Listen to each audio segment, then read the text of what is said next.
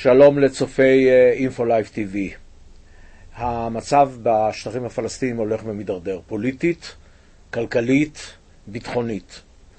אמ, כל הזמן אומרים על סף מלחמת אזרחים, על סף מלחמת אזרחים. זה נראה בימים האלה שזה כבר כמעט מלחמת אזרחים, זה אולי כבר מלחמת אזרחים. אמ, אחרי שהיו שורה של הרוגים והתנגשויות בכל חלקי עזה, אבל גם קצת בגדה, או לא, לא כל לא כך קצת, התנפלו על, על משרדים של החמאס.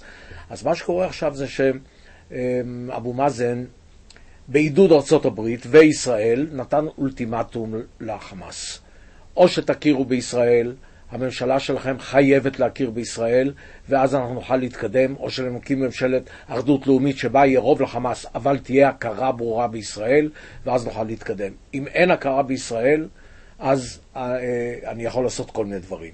האולטימטום הזה די ברור של אבו מאזן. הוא לא יכול לבוא עכשיו ולהגיד, אה, כל מה שחתמתי עד עכשיו, כל ההסכמים שעשיתי עם אש"ף, הסכמי אוסלו, היוזמה הערבית, כל הדברים האלה שכוללים הכרה בישראל, כל הדברים האלה תשכחו מהם, לא קיימים. אין דבר כזה. ולכן הוא מעמיד אותם בפני ברירה, או שתקבלו את האולטימטים שלי, או, ועכשיו לא ברור מה הוא יכול לעשות. הוא יכול לפזר את הפרלמנט? לא. הוא יכול אה, לפזר את הממשלה? כנראה שכן. החוקה הפלסטינית זה לא איזה משהו כזה ברור, ספר חוקים שכתוב שם כל דבר בבהירות. זה מדינה, הישות הפלסטינית היא לא מדינה, היא ישות שמתגבשת ומערכת החוקים שלה עדיין מאוד מאוד לא מסודרת. אז ככה שאפילו הסמכויות של אבו מאזן הן לא כך ברורות. לערפאת לעומתו, קודמו, היו סמכויות די ברורות, אבל לא בגלל חוקים. בגלל כוחו, בגלל אישיותו, בגלל הכריזמה שהייתה לו, בגלל העבר שלו, בגלל כל מיני סיבות. אי אפשר להשוות זה לאבו מאזן. אבו מאזן, יחסית לערפאת, חלש, לא יכול לכפות את רצונו, לא יכול אפילו לאיים בהתפטרות, הוא כל הזמן מאיים בהתפטרות, דרך אגב, בחוגים שלו. הוא אומר, אני אם ככה, אני לא אמשיך. אז מה הוא כן יכול לעשות? הוא יכול לפזר את הממשלה ולהקים ממשלת מומחים. אומרים לו בחמאס, אתה תעיז לעשות את זה? אז אנחנו אה, נעשה לך אה, פה, פה, פה מאבק אה, ציבורי ולא ציבורי, נילחם בך עד חורמה, כיוון שזה, אתה לא יכול לעשות דבר כזה, להפר את הבחירות הדמוקרטיות שהיו בשטחים. אז מה הוא כן יכול לעשות?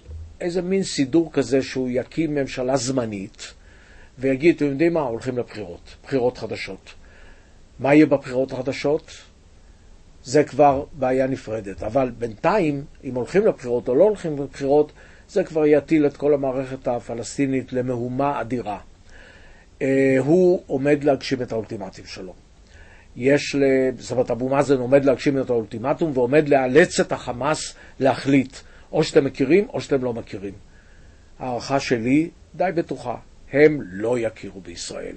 הם לא יכולים, גם הם לא יכולים להתנער מכל העבר שלהם, פתאום להגיד, כל האידיאולוגיה שלנו לא שווה שום דבר. הם מצאו כל מיני ניסוחים, כל מיני התחמקויות, כל מיני לולייניות כדי להגיד, אנחנו בעצם לא מכירים, אבל מוכנים להכיר. כל התרגילים האלה לא עוזרים הפעם. לא עוזרים כי גם הברית וגם ישראל, ובעצם גם הקוורטט, גם אה, מדינות אירופה, אמרו להם, אתם לא יכולים, תגידו מילים ברורות. הם לא יכולים להגיד את המילים הברורות, ולכן אני אומר את זה לדאבוני הרב, אבל ממש לצערי, לדאבוני, הישות הפלסטינית, הרשות הפלסטינית, צועדים בצעדים בטוחים לקראת בוקה ומבולקה, לקראת תוהו ובוהו. מלחמת אחים, משהו דומה למלחמת אחים, אבל יותר ברור זה אנרכיה. מין דבר כזה שכבר שורר בעזה. אין כסף, אין משכורות, אין תעשייה, אין עבודות קבלנות משנה בישראל, הייצור החקלאי נעצר, החממות שקיבלו בשמחה כזאת מגוש קטיף הרוסות לגמרי, מחסום ארז, כל אזור התעשייה שפרח שם איננו יותר, המעברים סגורים, חורבן כללי.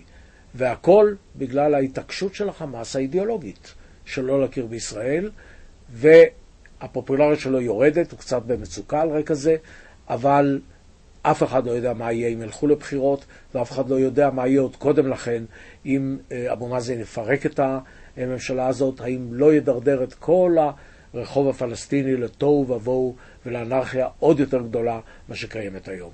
תודה.